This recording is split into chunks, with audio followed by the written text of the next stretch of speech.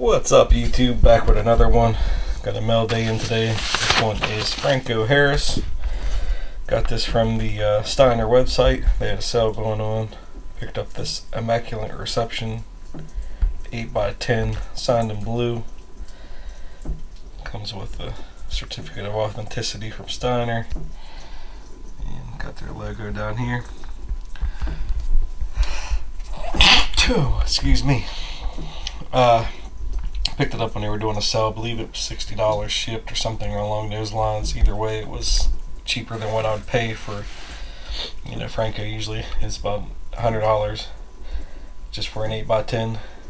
So just to get the, I didn't have this picture autographed, so figure for that price point you may as well grab it. And it's already authenticated by a nice company.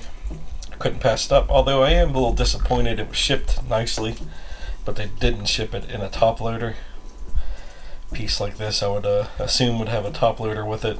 I did order three other 8x10s some the Big Ben to send out for TTM ammo and I think that was I don't know I think that was all. Just a couple for Big Ben.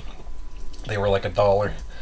So uh, they just shoved those and and they put two thick pieces of cardboard in between and it was you know it got here safely but when I'm paying that for a Franco Harris autograph, I would definitely expect it to be in a top loader. Just my opinion. I don't know. You guys might feel differently.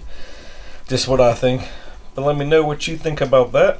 Just a one pickup mail day here from the Steiner website. Let me know. Hope you enjoyed the video. Make sure you like it, comment, and subscribe. Have a good one, Steeler Nation.